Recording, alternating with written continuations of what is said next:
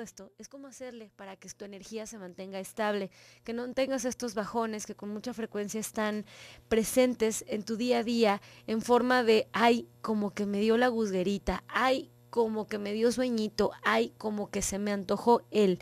Esos en realidad no son síntomas de que eres guzguerito o de que eres muy dulcerito, son síntomas de que no estás regulando de manera normal tu glucosa. Y entonces tienes que, tienes que aprender a hacerlo. Lo primero es aprender a levantar tus curvas, es decir, hacer que tu desayuno, comida y cena sea como debe de ser según tu actividad física, según tu condición previa, según tu edad y según tu género. Si no lo estás haciendo así, quiere decir que necesitas buscar el apoyo de un profesional de la salud que sea serio, que tenga este enfoque clínico y que te ayude, no un enfoque eh, nada más herbolario o nada más un enfoque que tenga que ver con una sola cosa, es un enfoque clínico. Es importante que el profesional de la nutrición específicamente sea un profesional completo. Pónganse a buscar. Ahora, yo sé, yo sé, yo sé que muchos pacientes han dicho, ay, no, es que yo ya he ido con muchos y no, no me sirve. Bueno, no dejes de buscar.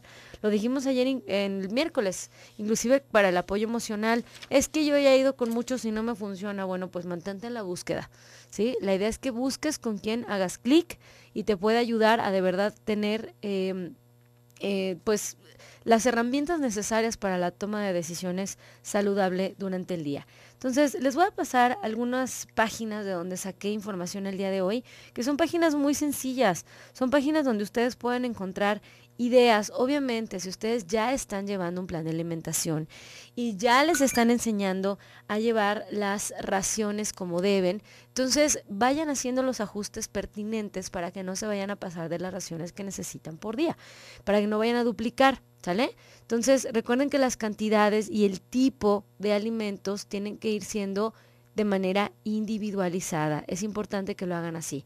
Fíjense bien, la semana pasada, no recuerdo bien qué día, el chef Oropesa publicó recetas que previenen la diabetes tipo 2. Y entonces me puse a leerlas y la verdad es que son recetas que están buenísimas, independientemente de que vivas o no con diabetes. Son recetas que te pueden ayudar a mantener tus glucosas digamos que normales o estables durante el día, porque son recetas que vienen con una muy buena cantidad de fibra, con una muy buena cantidad de grasas saludables y con una baja cantidad de carbohidratos, que finalmente es el punto al que todos los mexicanos tendríamos que empezar a llegar, a hacer una disminución o una moderación del consumo de carbohidratos en la dieta, porque si de por sí nos la pasamos comiendo cosas que no debemos, luego se las echamos a los alimentos, pues menos.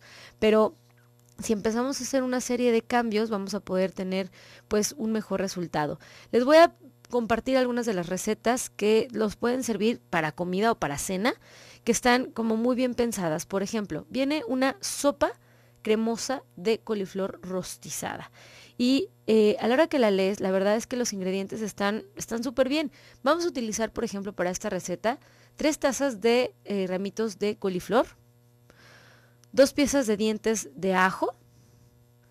Vamos a utilizar un cuarto de cebolla al gusto, dos cucharadas de aceite de oliva, dos cucharadas de tomillo lavado y desinfectado. Esta receta viene con cúrcuma, es una cucharada de cúrcuma molida, o sea, en polvo. La cúrcuma, recuerden que es este, esta raíz igualita que el jengibre, pero es de un color como, como amarillo, como quemado y eh, es de las sustancias más estudiadas, es una de las sustancias que se ha estudiado más para eh, mejorar em, o para proteger a los pacientes que tienen una alta incidencia de cáncer en la familia. Eso los oncólogos ya lo han sugerido, es, es, una de las recomendaciones que se hace para los pacientes que incluyan la cúrcuma en su dieta. La puedes encontrar en cualquier mamá coneja o en cualquier lugar donde vendan especias, ¿no? Cúrcuma molida o es, lo que le da el color amarillo al curry.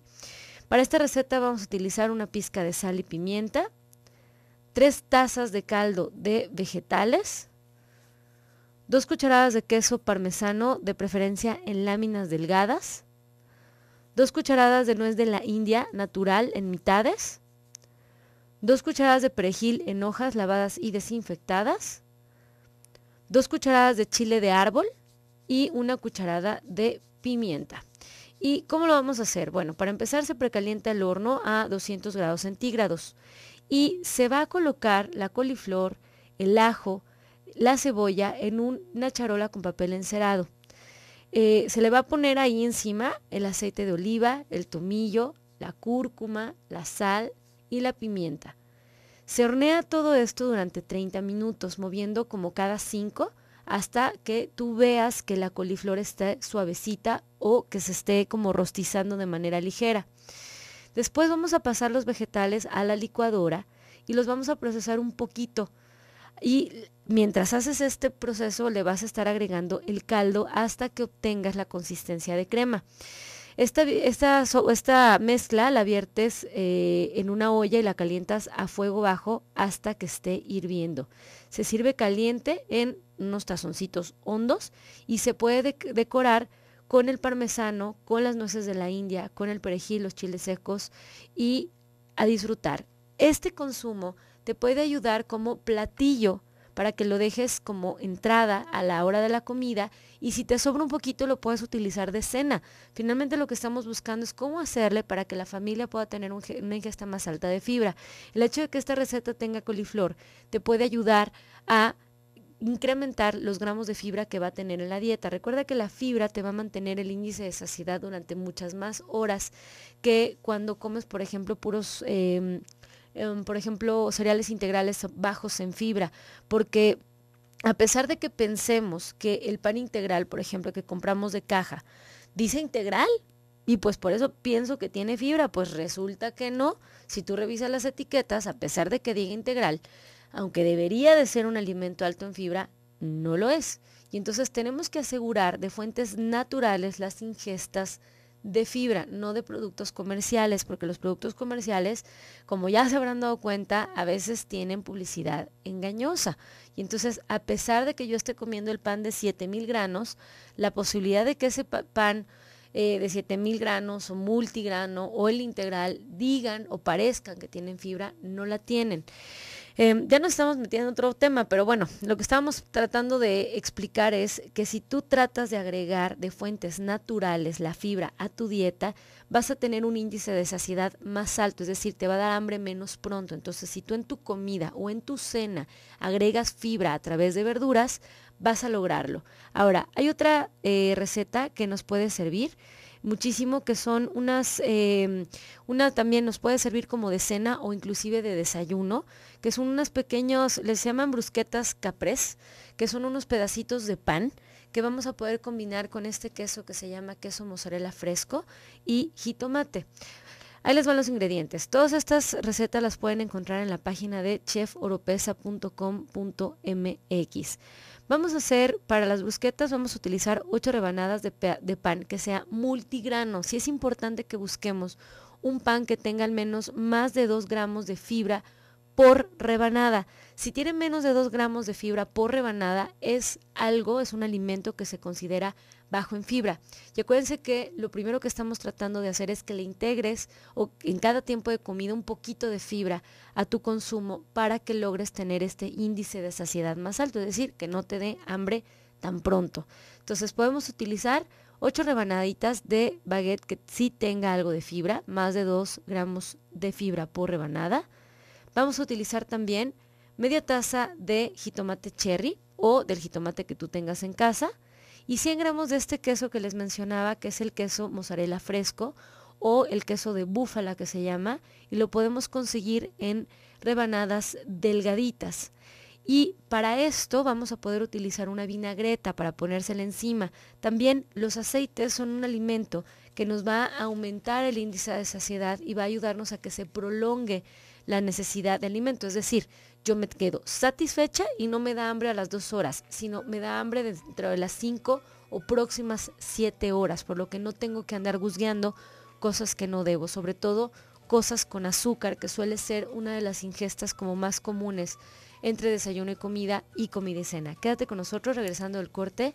Vamos a seguir platicando acerca de desayunos, comidas, cenas y snacks saludables e inteligentes para mantener tus niveles de azúcar estable en sangre. Quédate, estás en el 1040 de AM. Regresamos.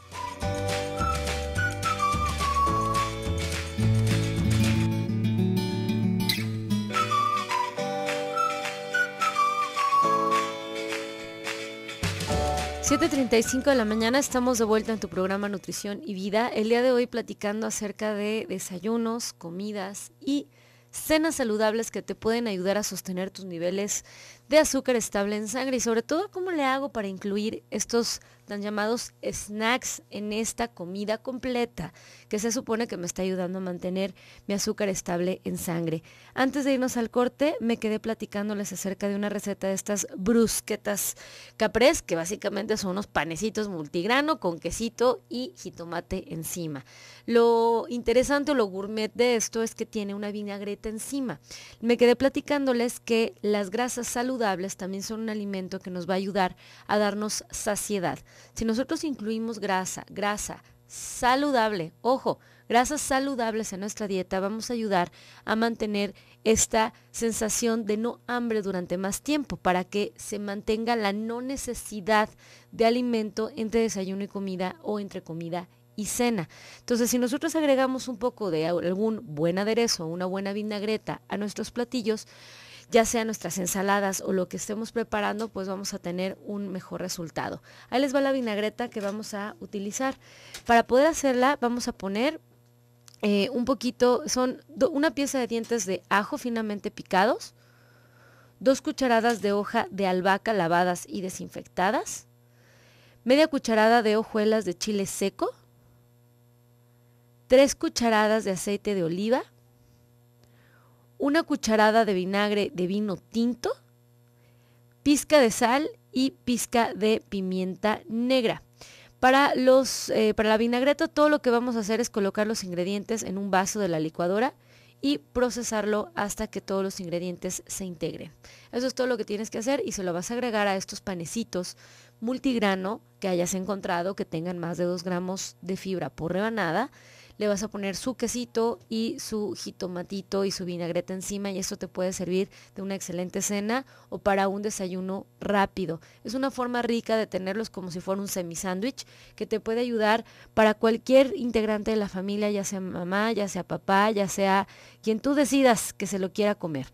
Entonces, eh, es, una, es una idea saludable. Ahora, en general, recuerda que cada desayuno, cada comida y cada cena tiene que llevar grupos eh, diferentes, los eh, tres al menos macronutrientes, es decir, tiene que llevar proteínas, tiene que llevar carbohidratos y tiene que llevar eh, algún tipo de grasa. Los carbohidratos en el desayuno, de manera idónea, queremos que sean a partir de frutas. Si necesitamos la fruta en la mañana, porque si no nos estamos comiendo las frutas en la mañana, no vamos a lograr elevar nuestra curva tempranera. Y entonces a media mañana vamos a estar muriendo de hambre y sintiendo que tenemos esta necesidad de consumo. Me pregunta por aquí Víctor eh, Rosales, me dice, ¿qué opino de una palanqueta de amaranto en lugar de alguna gusguerita? Ojo, Aquí hay un poco de confusión. ¿Por qué? Porque las palanquetas amaranto normalmente vienen con miel y la miel se considera gusguerita porque es un azúcar simple, que es justo lo que estamos tratando de evitar en nuestra dieta. Las mieles no son para consumo de paciente mexicano. Recuerden que no no, aunque sean de bajo índice glucémico, las mieles no son algo recomendado en los pacientes, ¿sale? ¿Por qué? Porque si nosotros lográramos que en el día a día bajáramos el consumo de carbohidratos, entonces sí, a lo mejor miel de vez en cuando no, no sería un problema, pero no puede ser un consumo recurrente, ¿sale? Necesitamos buscar otras fuentes de grasas y proteínas vegetales para los snacks, es decir, el grupo completo de las oleaginosas que son almendras, cacahuates, pistaches, pepitas, em, semillas de calabaza, por ejemplo, piñones, todo eso en crema de cacahuate, obviamente sin azúcar, la crema de avellanas sin azúcar, son excelentes, excelentes fuentes de grasa vegetal y de proteínas vegetales que nos pueden ayudar como que el escaloncito que tenemos entre desayuno y comida y comida y cena. Cualquier fuente de oleaginosas sería una de tus mejores opciones para colación. Es decir, necesitamos el consumo, espero que ya lo estén dilucidando, proteína y grasa vegetal y fibra en media mañana y media tarde. Las frutas vamos a tratar de ponerlas en los tiempos principales de, de, alimentos, es decir, en el desayuno, como postre, junto con mi comida o como parte de mi cena. Todo esto nos va a ayudar también a que tengamos una mayor cantidad de fibra durante nuestro día a día. Ahora, de colaciones. Estamos hablando que si ya logramos tener un buen desayuno, una buena comida y una buena cena, y si aún así seguimos teniendo la necesidad de las colaciones, podemos hacerlo a través de las oleaginosas. Las oleaginosas se combinan perfecto con las verduras. Por ejemplo, podemos pensar en palitos de apio o en zanahorias baby o inclusive en unos arbolitos. El otro día uno de mis pacientes chiquitos me decía que le gustan muchísimo los brócolis y la coliflor, que cuando se las parten chiquititas y están así como, como todavía muy crujientes, que se las pongan en un topper y se las lleve a la escuela, es uno de los mejores snacks que puede tener. Claro, estamos hablando de un niño que hizo un excelente desayuno en casa, que se tomó probablemente un buen vaso de leche, que se comió su fruta, que quizás se comió un par de taquitos de huevo, o que quizás su mamá alcanzó a hacerle un sándwich con pan de verdad integral. Y entonces sí, a media mañana puede elegir con sus almendras, sus cacahuates, sus pistaches y además su topper que lleve un poquito de coliflor y un poquito de brócoli, o sea, verduras apio. Inclusive tengo pequeñines que les gustan los nopales y entonces la mamá lo único que hace es partir nopalitos y ponérselos en un topper. Otra de las ideas para tener un snack saludable para tus hijos, para alguien en la oficina, para ti que estás ya trabajando, es que lleves, por ejemplo, cuadritos de queso de igual forma combinados con almendras, cacahuates, pistaches, nueces, pepitas, eh, semillas de, la, de calabaza o piñones, ¿sale? Em, si eres una persona que en realidad está, por ejemplo, desayunando un poquito más tarde de lo normal, porque a lo mejor te despiertas más tarde, entonces sí, podemos pensar en combinar algún otro tipo de alimentos, pero solamente si eres una persona que no hizo un desayuno temprano, entonces sí, tendrías que ser una especie como de como desayuno tardío, o si le quieres llamar colación grande, donde pudieras incluir, por ejemplo, un sándwich de garbanzos, por ejemplo, de humus, el famosísimo humus, que no es otra cosa más que los garbanzos aplastados, en dos rebanadas de pan integral al que le puedes poner jitomate, por ejemplo. Entonces, sería un sándwich que te puede ayudar a mantenerte estable hasta la hora de la comida, pero estamos hablando del paciente que por algo no haya logrado hacer su desayuno temprano y completo. Entonces, otra de las ideas que te pueden servir para consumo eh, usual, por ejemplo, a media tarde, es que tengas algo dulce. O sea, algo dulce es algo que, que de repente se nos antoja muchísimo a media tarde. Yo les hablaba de la crema de avellanas. Vamos a suponer que es, por ejemplo, un pacientito que esté haciendo ya ejercicio.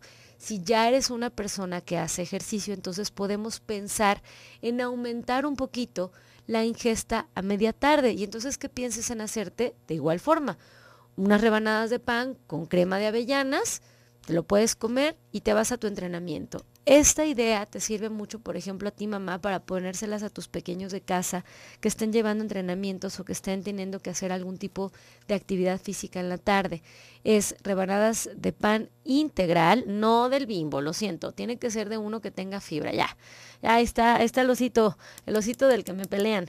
Eh, tienen jarabe de alta fructosa sus productos, por favor no compren de esos, hay 15 opciones más en 7000 tiendas en Guadalajara, por favor, compren de otro tipo de pan. Eh, le pueden poner su crema de avellana sin azúcar o su crema de cacahuate que sabe igualito a las que tienen azúcar, pero no lo tienen. Y es un sándwich que se pueden ir comiendo en el coche o en el camino al entrenamiento. Y ya en el entrenamiento pueden tener suficiente energía para lograr realizarlo y además realizarlo con éxito, no así como que medio zombies. Si solamente si están haciendo actividad física, si no están haciendo actividad física, créanme, no está justificado el uso de los cereales a media tarde. Por ejemplo, esta, esta idea de comer palomitas a media tarde sí puede ser un buen snack, pero si estás realizando actividad física, no puede ser eh, nada más porque algún día escuché que eran como llenas de airecito y no hay problema. No es un cereal y está justificado solo cuando el paciente está haciendo actividad física, de igual forma que el amaranto, amaranto sin miel. El amaranto sigue siendo un cereal, es igualito a las palomitas, igualito al, a la quinoa, igualito al maíz, igualito al, al arroz o a cualquier otro cereal. ¿Sale? Nada más tiene que venir sin miel. Quédate con nosotros el día de hoy platicando acerca de snacks saludables en tu programa Nutrición y Vida. Regresamos.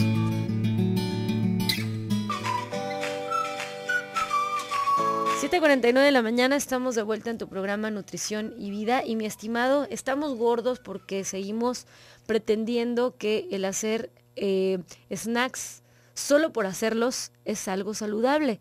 Y la verdad es que tenemos que aprender a hacerlos de manera inteligente. Tenemos que buscar, ya decíamos, ingestas que tengan que ver con fibra, con grasas saludables y proteínas que pueden venir de una fuente vegetal o de una fuente animal. Las fuentes vegetales de proteínas, ya lo dijimos, son las oleaginosas, que son las almendras, cacahuates, pistaches, pepitas, eh, los, eh, por ejemplo, los piñones, etcétera, etcétera, que son una excelente fuente de proteína vegetal y de grasa vegetal para ayudarnos a mantener nuestros niveles de azúcar más estables durante el día. Y bueno, vamos a seguir con una lista de snacks que, ojo, ya dijimos que son solo si son necesarios. Es decir, si yo ya logré mi desayuno completo, mi comida completa y mi cena completa, y aún así sigo teniendo la necesidad de comer algo, vamos buscando cosas eh, que sean eh, digamos que ricas en proteína. Una idea son el huevo. Luego con el huevo tenemos como mucha manía y decimos que no, que es malo, que el colesterol, y ya lo hemos dicho hasta el cansancio en el programa, es un mito. El consumo de huevo no te eleva los niveles de colesterol en sangre es un mito, es una mala interpretación de, año, de estudios de los años 70. De hecho, si leen su, el periódico del día de hoy, hasta hoy salió en el mural como una noticia vieja. Dice, ya tenemos mucho tiempo hablando de esto, pero entonces, ojo, mm, lo hemos dicho hasta el cansancio, mucha gente ha retirado el consumo de huevo en su dieta y es una recomendación que se usaba hace como 10 años, el hacer que los huevos se comieran nada más tres veces a la semana y no tiene nada que ver con eso. Lo publicó este año la revista Llama, que es la revista digamos que es una de las revistas más serias de investigación en eh, México, lo publicaron en marzo de este año, donde se publica que la mala em, digamos que eh, la mala relación o la mala, los malas concentraciones de eh, la mala, la mala concentración de azúcar en sangre, es decir, la variabilidad glucémica, es o tiene como consecuencia el mal control de colesterol en sangre y de triglicéridos en sangre. Es consecuencia de, antes lo entendíamos como entidades diferentes, como que el azúcar era una cosa y el colesterol y, los triglicéridos eran otra y ahora ya sabemos que una cosa nace de la otra. Entonces, el huevo puede ser un consumo que se puede utilizar como snack a media mañana o a media tarde, sí, sí lo puedes eh, considerar. Me están preguntando por acá que por qué te dicen que, te que les quitas las claras o las yemas. Precisamente por eso, porque pensábamos que podía elevar el colesterol en sangre, pero ya sabemos que no, se han hecho infinidad de estudios donde se ha hecho la aclaración donde no tenemos que quitarlo. No es un consumo, eh, al menos con el tema del colesterol, no es un alimento que se tenga que retirar de la dieta. Y, eso ya está como muy instaurado, pero no crean que es nuevo, ¿eh? créanme que es una recomendación ya de hace muchos años. Eh, otra forma de mantener tu azúcar estable en sangre es si ya estás haciendo ejercicio, podemos elegir, por ejemplo, un poco de fruta con alguna proteína, por ejemplo, con queso cottage, ¿sí? Entonces podemos pensar en que si vas a ir al gimnasio, te puedas eh, comer un poco de, no sé, papaya picada con un poquito de queso cottage, o una manzana con un poquito de, em, por ejemplo, de crema de cacahuate. Algo de fruta con alguna proteína antes del ejercicio te puede ayudar a mantener tus niveles de azúcar estable o más normales mientras haces ejercicio. Así es que eh, espero que les hayan servido estas ideas y que les esté quedando más claro cómo va esto de los snacks saludables. Les quiero hacer una invitación. La próxima semana vamos a estar platicando durante toda la semana acerca de la diabetes. Resulta que el próximo 14 de noviembre es eh, el, el Día Internacional de la Diabetes y es un evento que tenemos que de verdad ponerle el peso que tiene. Vamos a estar durante toda la semana platicando acerca de diferentes cuestiones de la diabetes y vamos a tener invitados especiales, así es que no te lo pierdas. Les voy a platicar un poquito de esto, de el Día Mundial de la Diabetes. Es la campaña de concientización sobre la diabetes más importante del mundo. Fue instaurado, por la Federación Internacional de Diabetes y la Organización Mundial de la Salud en 1991 como respuesta al alarmante aumento de los casos de diabetes en el mundo. En 2007, las Naciones Unidas celebró por primera vez este día tras la aprobación de la resolución en diciembre de 2006 del Día Mundial de la Diabetes, lo que convirtió al ya existente Día Mundial de la Diabetes en un día oficial de la salud de la Organización de las Naciones Unidas. Se conmemora el 14 de noviembre en homenaje a Frederick Grant, quien nació en esa misma fecha en 1891. Frederick Grant, junto con Charles Best, lograron aislar por primera vez la insulina en 1921. Y resulta que uno de los símbolos eh, más ah, conocidos para celebrar este Día Internacional de la Diabetes es el Círculo Azul. El año pasado yo traje mi pinecito y los invitados de esa semana también trajeron su pin azulito. Y este icono fue desarrollado originalmente para la campaña que dio lugar a la aprobación de la resolución de las Naciones Unidas del Día Mundial de la Diabetes, el 20 de diciembre de 2006.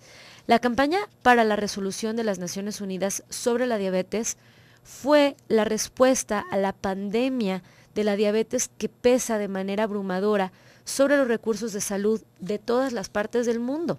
La campaña movilizó a las partes interesadas en la diabetes detrás de una causa común para asegurar una resolución de las Naciones Unidas sobre el tema de la diabetes.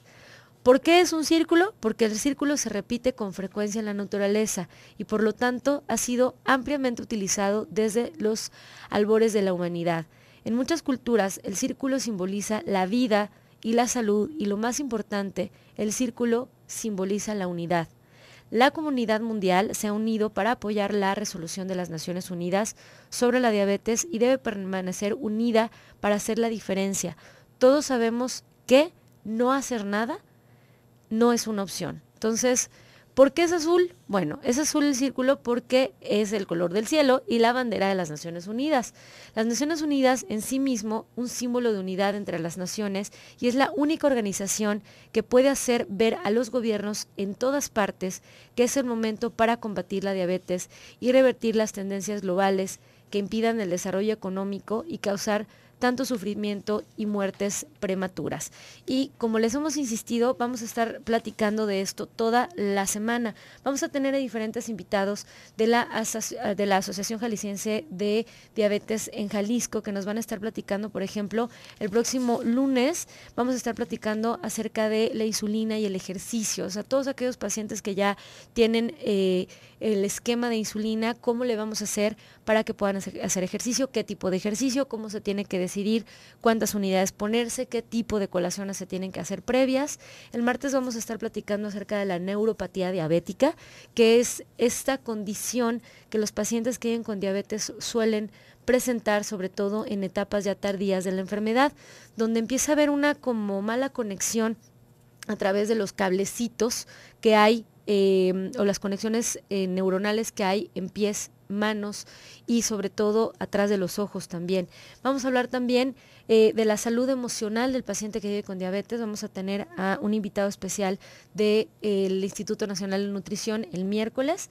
Vamos a hablar el jueves de la diabetes infantil, que es muy importante que hablemos eh, yo diría de, digamos que el recorrido de vida que llevan estos pacientitos, porque gracias a los avances tecnológicos y a los avances médicos, la calidad de vida de estos pacientes es muy buena y puede prolongarse durante muchos años en su vida. Antes se creía que una diabetes tipo 1 podía hacer que los pacientes tuvieran muertes eh, prematuras, pero la verdad es que ahora llevan una calidad de vida completamente normal y son el mejor ejemplo de que sí se puede de que sí se puede y para todos aquellos que viven con diabetes tipo 2 de igual forma.